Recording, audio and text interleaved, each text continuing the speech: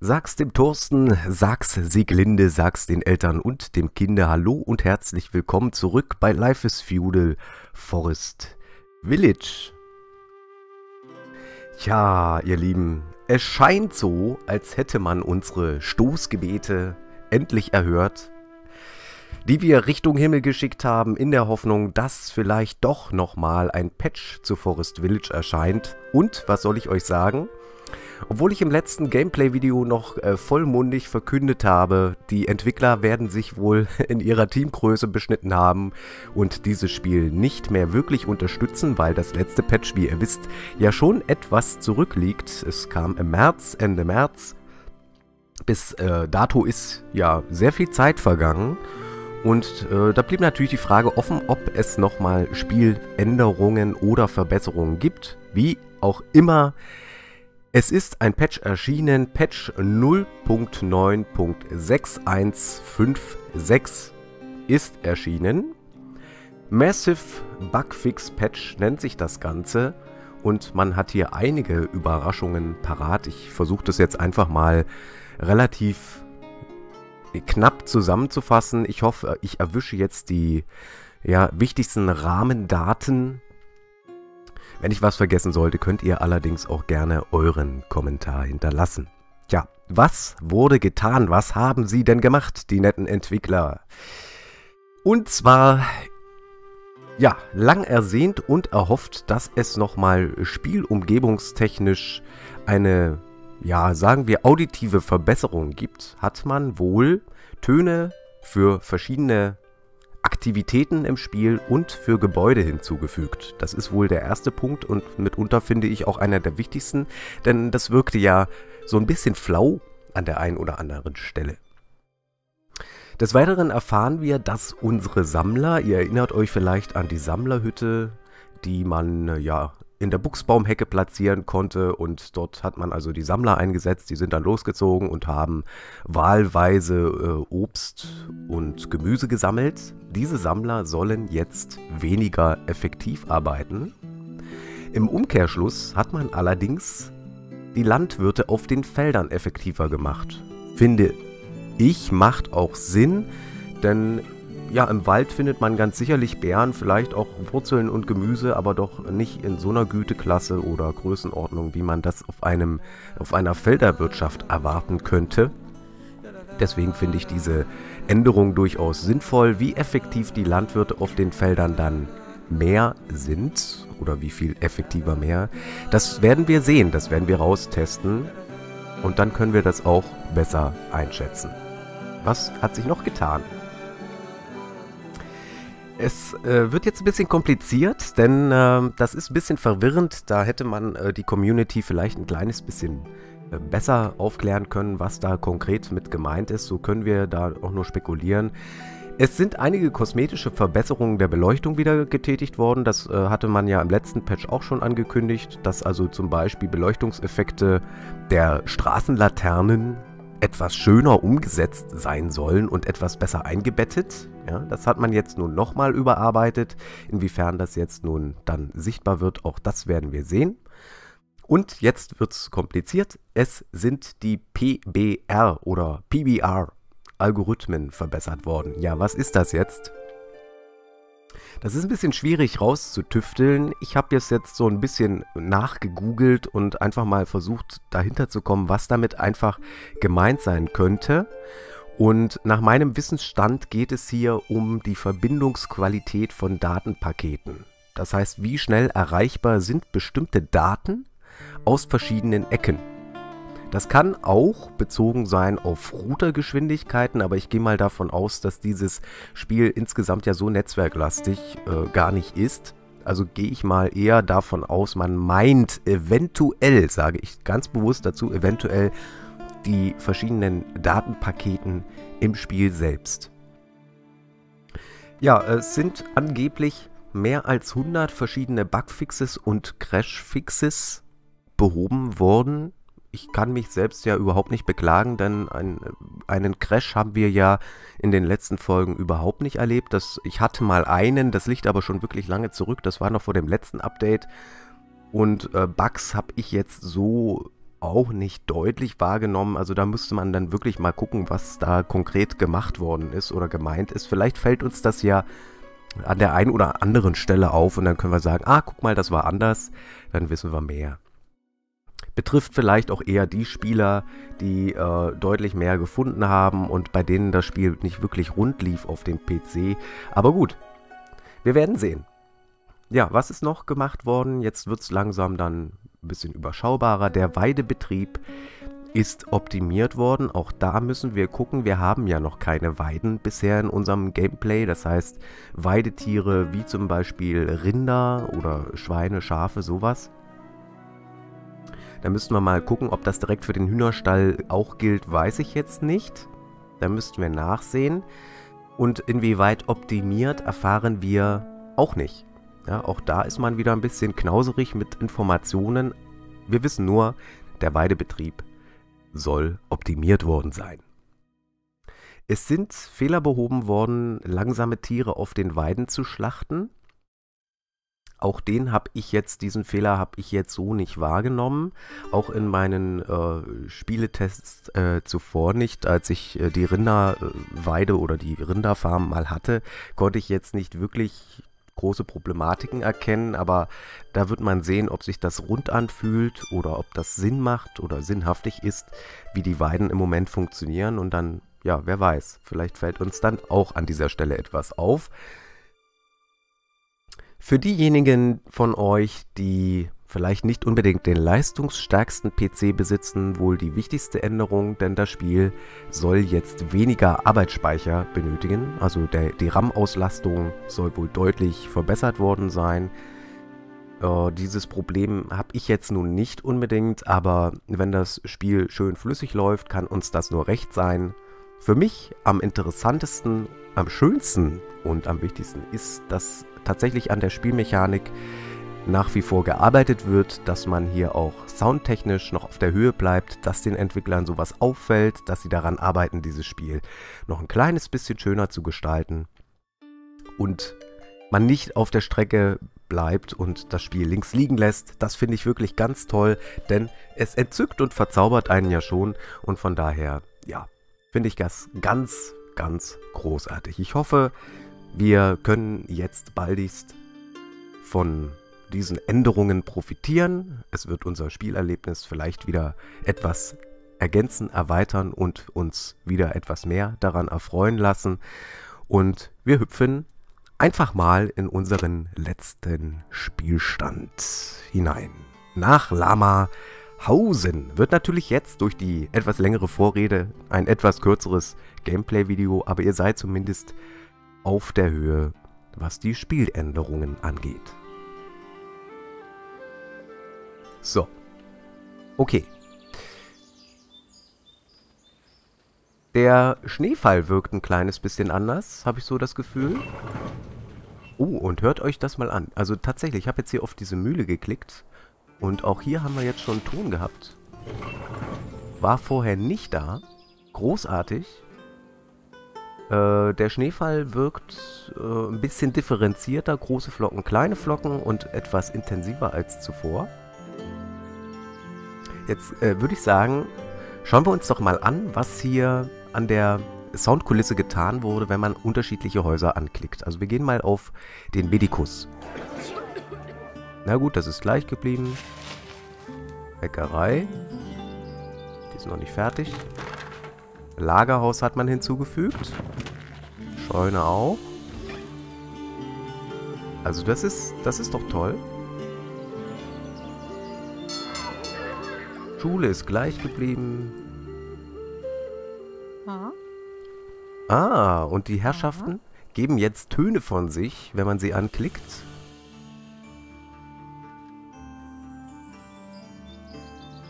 Jetzt fängt mein Obermieter an zu bohren. Das ist ja wohl eine Frechheit. Ich muss sie aufnehmen. Was bildet er sich ein?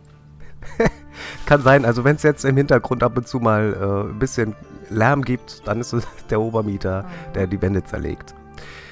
Also nicht wundern, es wäre nur schade, wenn ich jetzt zwischendurch einfach unterbrechen müsste.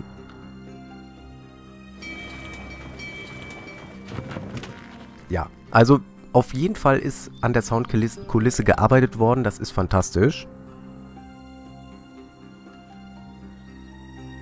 Hörst du auf zu bohren? Unglaublich. Mhm. Schön. Hier haben wir noch ein Kind. Ach, das ist doch herrlich. Viel, viel mehr Atmosphäre jetzt. Was sagt der Mann? Hm. Mhm. Okay, das finde ich, find ich schon mal richtig toll. Apotheke ist gleich geblieben. Jagdhütte auch. Also, ne, ich teste mich jetzt hier so ein bisschen durch und dann gucke ich mir das an. Also die alten Sounds, die schon existierten, die sind da geblieben, äh, zu den Gebäuden, zu denen es keine gab. Ja, da hat man Sounds hinzugefügt. Insgesamt gibt es viel mehr Atmosphäre. Auch der Nebel ist dichter, nicht nur der Schneefall. Also atmos atmosphärisch äh, hat man hier nochmal eins draufgesetzt. Definitiv. Fast ein kleines bisschen zu viel aufgetragen, finde ich. Erst wenn wir wirklich sehr nah ranzoomen, löst sich das Ganze hier nochmal ein bisschen auf. Wäre interessant, ob die Tiere vielleicht auch irgendwann mal noch ein Geräusch von sich geben. Die Bären etwas brüllen oder sowas. Ja, müssen wir dann mal gucken. Auf jeden Fall gefällt es mir schon mal deutlich besser, was, äh, naja, die, die auditive Umsetzung oder ja, die tonale ihr angeht, deutlich besser. Das finde ich toll. Das wirkte so, so, sonst vorher so ein bisschen brach gelegen. Es wirkte nicht ganz rund. Da fehlte einfach was. Das ist immer so ein Beigeschmack, so ein Gefühl, was hier äh, einfach übrig geblieben ist. Und jetzt fällt mir auch noch auf, dass die Felder hier anders aussehen. Schaut mal, die Bodentexturen sind hier auch verändert worden. Hier sieht man jetzt auch bei den Apfelbäumen, dass hier direkt in diesen Rundungen auch der Schnee so in den, in den Vertiefungen liegen bleibt. Das finde ich richtig toll. Wirkt alles ein bisschen, nochmal ein bisschen realistischer. Ich habe auch das Gefühl, man hat, es ist ja immer noch Winter, es ist ja immer noch Schneefall, man hat diese Überblendung, diese starke weiße Überblendung ein bisschen zurückgenommen. Ich meine, klar, wir müssen jetzt mal gucken, wie das Ganze wirkt, wenn der Tag angebrochen ist, ob das dann immer noch so überstrahlt, aber es, es wirkt fast so, als, als hätte man die Nacht auch so ein bisschen äh, klarer gemacht, was den Boden angeht. Auch hier die Beleuchtungen kommen jetzt viel, viel besser raus. Ja? Wenn man uns, wenn man sich jetzt unsere Gebäude ansieht, dann sieht man auch tatsächlich, wo Licht brennt und wo nicht. Der Laternenschein ist relativ klein gehalten. Da hätte ich jetzt eher damit gerechnet, dass man da nochmal ein bisschen großflächiger beleuchten lässt. Aber es sieht insgesamt wirklich deutlich schöner aus und möglicherweise, das müssen wir mal testen, ist auch dieser Nachtzyklus ein kleines bisschen länger. Der war ja vorher wirklich sehr, sehr kurz. Jetzt sind wir immer noch in der Nacht. So kann man also auch hier die Abendstimmung deutlich genießen. Allerdings muss man hier tatsächlich schon relativ nah rangehen, um äh, die Siedlung auch aufdecken zu lassen, weil der, dieser Nebel ist jetzt schon ziemlich, ziemlich stark. Gucken wir mal, wie sehen diese Felder aus. Auch hier sehen wir viel, viel schönere Reihen. Also da hat man wirklich optisch noch mal ein bisschen in die Tasche gegriffen. Also der Schnee äh, bringt noch mal eine ganz andere Bodenstruktur mit sich. Wäre natürlich auch interessant mal rauszufinden, ob man an den planierten Gebieten bodentexturtechnisch auch noch was verändert hat oder ob das so geblieben ist. Ich sehe das jetzt so eine, wirklich sehr, sehr schlecht.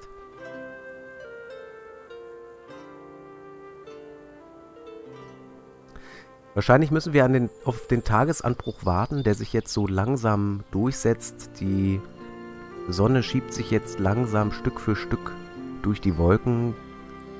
Das Morgengrauen erwacht so langsam. Und ich würde sagen, wir lassen das wirklich auch einfach mal so weiter auf uns wirken. um äh, die Veränderungen vielleicht auch noch ein bisschen deutlich spürbar werden zu lassen. Also die Bodentextur fällt mir hier wirklich ganz besonders auf. Auch beim Hühnerstall Wird interessant sein, wie das dann im Frühling und im, im Sommer auf uns wirkt, ob man vielleicht da auch nochmal andere Texturen eingesetzt hat.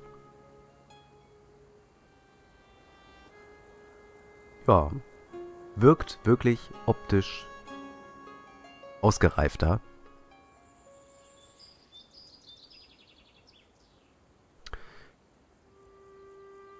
Ja, jetzt habe ich durch die ganze Patcherei ganz vergessen, dass wir eigentlich unserem eigentlichen Plan ja folgen wollten und sollten.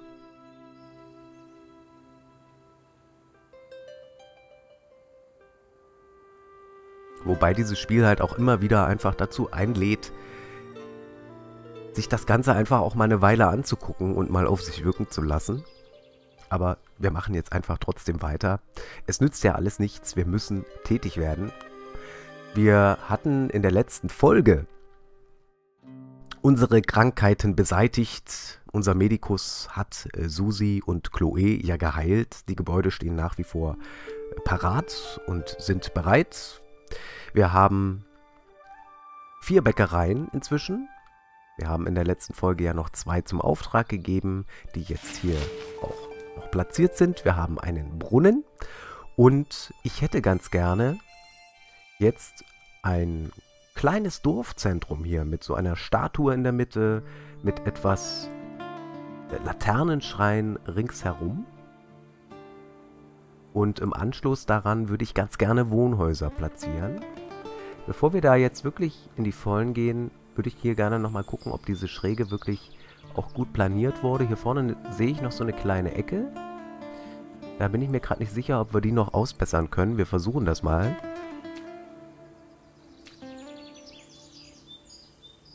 Dieser Übergang ist noch nicht so wirklich schön geworden, finde ich. So, da sollen die nochmal die Schippe ransetzen. Das hätte ich gerne noch ein kleines bisschen geschmeidiger umgesetzt. Dass hier nicht wirklich einfach so eine Ecke runterbricht. Wir sehen das hier an dieser Lichtreflexion des Schnees oder ja, gefrorenen Schnees. 16 Arbeits Kräfte haben wir hier zur Verfügung. Ich mache auch mal die Zeit ein kleines bisschen vorwärts und äh, gucke dem ganzen Treiben hier mal zu. Für all diejenigen von euch, die Mods in diesem Spiel benutzen, gab es durch das letzte Patch den Hinweis der Entwickler, dass einige Mods jetzt nicht mehr funktionieren könnten, was ja eigentlich bekannt ist, dass wenn sich das Spiel weiterentwickelt, Mods erst wieder nachgerüstet und dem Patch angepasst werden müssen. Das heißt auch für diejenigen, die zum Beispiel in der Geschwindigkeitsbalance, also es gibt ja äh, Mods, wo man die Geschwindigkeit auch nochmal deutlich äh, differenzierter eingeben, eingehen und eingeben kann und die Geschwindigkeit auch noch schneller laufen lassen kann. Für die könnte es Schwierigkeiten geben. Ja, aber so wirklich, schaut mal, so wirklich zufrieden bin ich hier gerade wirklich nicht. Diese Schräge, die ist nicht so toll. Ich weiß gar nicht, was die da treiben. Die nehmen immer so ein kleines bisschen so einen Absatz mit. Müssen sie nochmal ran.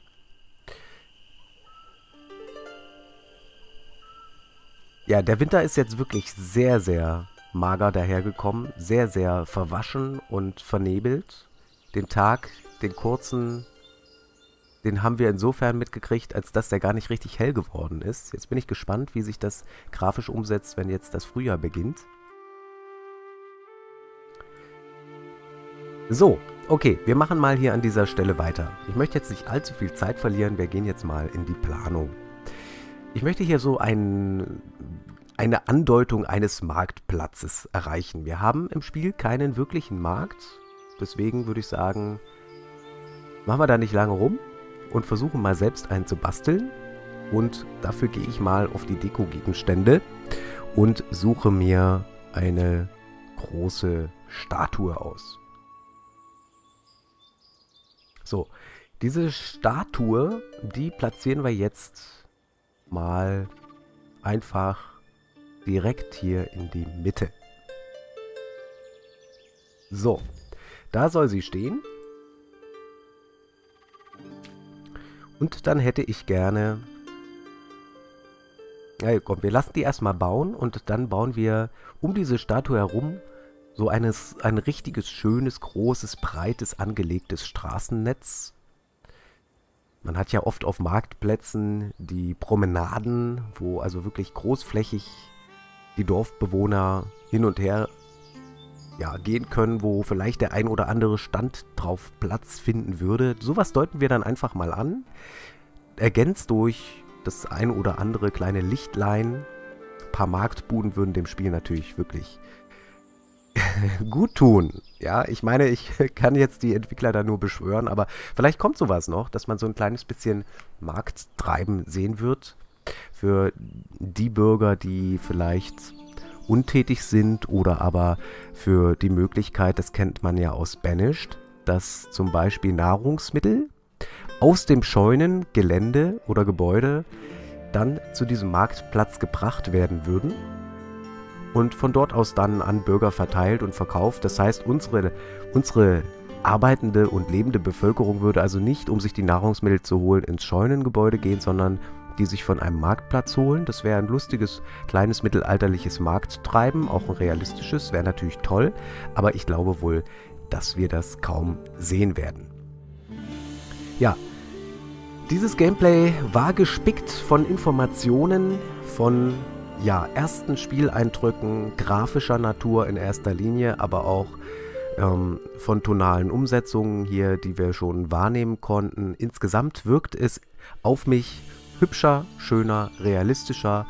Auch die Fragezeichen hier, die wirklich immer sehr, sehr störend waren, finde ich, wenn man, gerade wenn man so ein kleines bisschen äh, rausgezoomt hat und sich das dann ein bisschen ansehen wollte, die wirkten sehr, sehr aufgesetzt und sehr erdrückend. Wenn wir jetzt hier ein bisschen rausgehen mit der Kamera, dann sehen wir hier auch diese störenden Fragezeichen nicht. Das heißt, diese ländliche Komponente die hier im Spiel ja durchaus diese Schönheit auch ausmacht, dieses Malerische, die ist auf jeden Fall dadurch viel, viel deutlicher wahrnehmbar. Sie sieht viel, viel hübscher aus. Also Dankeschön an die Entwicklung, dass hier noch was getan wird und wurde.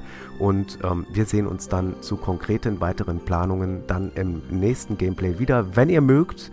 Ich danke euch an der Stelle fürs Zusehen, fürs Dabeisein und sage Tschüss und Ade.